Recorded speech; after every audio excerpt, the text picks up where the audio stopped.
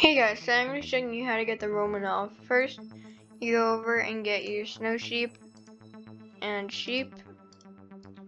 And then bring them over to the fusion chamber.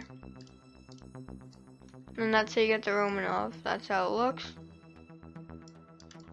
And then, oh I forgot they did that update.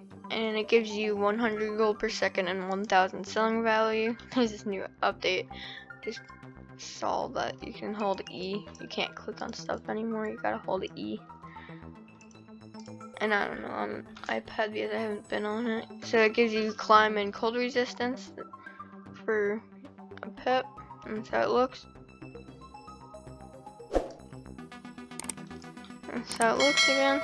Thank you guys for watching. Be sure to like and subscribe. See you next video.